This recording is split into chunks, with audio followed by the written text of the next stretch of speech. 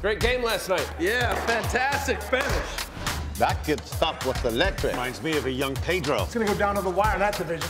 Yep, right to the very end. Woo! Better buckle your seatbelt.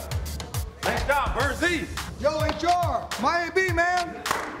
Oh, man. Lighter's getting rocked. Harold still got it.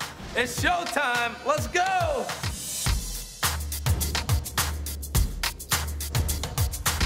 And welcome everyone to MLB Tonight.